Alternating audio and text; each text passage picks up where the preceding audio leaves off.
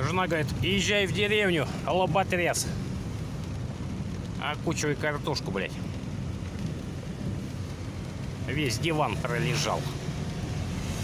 Собака.